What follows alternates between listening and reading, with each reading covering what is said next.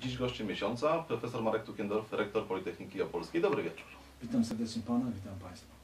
No właśnie, kilka dni temu y, już zapowiadaliśmy, że pan rektor będzie gościem y, u nas w radiu, dlatego otrzymaliśmy trochę pytań od naszych studentów i po kolei będziemy y, pana rektora dzisiaj przepytywać z tematu. Za chwileczkę oczywiście kawałek muzyki i za parę minut wrócimy. Będzie innymi o sporcie akademickim, o kulturze studenckiej, czyli o wszystkim tym, o czym pan rektor na co dzień, no, z czym ma do czynienia, no i o czym może decydować. 60 33 997. y, Czekamy jeszcze na pytania na numer gadu gadu. Będzie dzisiaj troszeczkę, wydawałoby się może chaotycznie, ale tematów jest dużo, a i pytań studenci y, mają sporo. Pytają m.in. o klub studencki. Istnieje, zachodzi wyraźny problem ze środkami na inwestycje. Y, Nie umniejszam kolejności, ale y, przed klubem stoją jeszcze budynki, które się sypią, które wymagają pilnych remontów, inwestycji albo w ogóle przebudowy. Mam tu na myśli budynki y, w drugim kampusie. To są stare, jak wszyscy wiemy, pomilitarne budynki. Mm, Natomiast również będąc w ścisłym kontakcie z samorządem, y, wiem o innej inicjatywie, mianowicie takiej, że w najbliższym sąsiedztwie tego kampusu powstaje duży klub, klub, który może pomagać naszej młodzieży w ramach takiego partnerstwa prywatno-publicznego w realizowaniu y, tych potrzeb kulturalnych i wydaje mi się, że to może być duża szansa. Radio Emiter z Opola oczywiście, jeżeli ktoś dopiero teraz e, włączył. E, Politechnika Opolska podpisuje e, kolejne umowy z kolejnymi firmami. Studenci pytają, e, czy to faktycznie może im pomóc na rynku pracy. Toczy się pewna dyskusja od dłuższego czasu w naszym regionie. Mm, Indagowany jest pan rektor Nicieja na okoliczność tego, jakich absolwentów powinniśmy kształcić.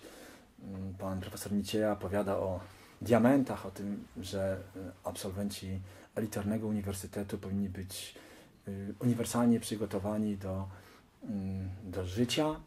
Y, Ja również wychodzę z założenia, że absolwenci elitarnej politechniki powinni być uniwersalnie przygotowani do życia, bo od tego jest w ogóle misja wyższego wykształcenia, ale przede wszystkim zawodowo przygotowani do życia. Y, Chodzi o to, że istnieje cała lista zawodów, w których można natychmiast znaleźć pracę.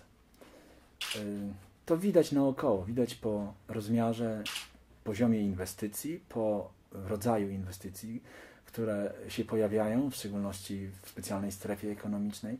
Jako uczelnia uczestniczymy regularnie we wszystkiego rodzaju negocjacjach prowadzonych przez miasto czy województwo z inwestorami. One nie zawsze się udają, natomiast to nie znaczy, że nam ma zabraknąć wytrwałości. Więc na wszystkich tego typu y, spotkaniach, a muszę powiedzieć, że czasami przyjeżdżają inwestorzy, którzy mogliby postawić fabrykę na około 800 miejsc, w tym zatrudniać y, 20-30% inżynierów. Więc moją rolą jest wtedy walczyć do samego końca i przekonywać, że jesteśmy dobrą uczelnią i że będziemy mogli być przygotowani do współpracy. Mm, Sprawa tego, czy negocjacje kończą się pomyślnie, czy też nie. Y, Jak powiedziałem, za każdym razem jesteśmy pełni nadziei, ale takich przykładów firm, które już zaczęły funkcjonować, kilka się pojawiło. Więc y, jest to polityka niedużych kroków, ale istotnych. I są firmy, które dają nam swoje laboratoria, które dają nam swoje programy studiów, i my na niektórych kierunkach studiów wprowadzamy, powiedziałbym, takie klasy kilkunastogodzinne z tymi przedmiotami, które y, na przykład językami programowania, które będą natychmiast wykorzystywane przez absolwenta po ukończeniu studiów, po ukończeniu przez niego studiów właśnie w przedsiębiorstwie, które w to lokuje. Y, Dajemy zarówno godziny, dajemy pomieszczenia, y, zapraszamy fachowców z tych firm do bezpośredniego prowadzenia zajęć i takich przykładów mamy coraz więcej. No, nie mamy wyjścia, od tego musimy zaczynać, ale to musimy rozwijać. Wydaje mi się, że to się udaje. Jakkolwiek niektórzy z naszej młodzieży mogą zapytać, no tak, ale ja czy mój kolega nie znajdziemy pracy.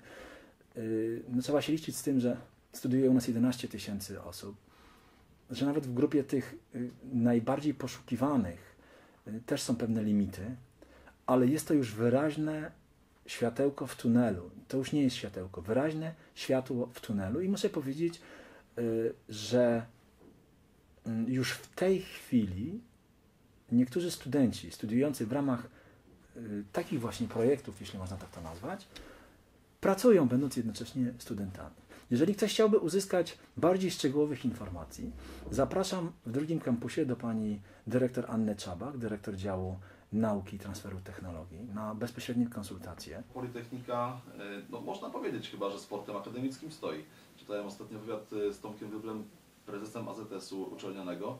E, Mówi, że współpraca układa się dobrze i faktycznie politechniczne drużyny na tle innych uczelni całego kraju no mają się dobrze.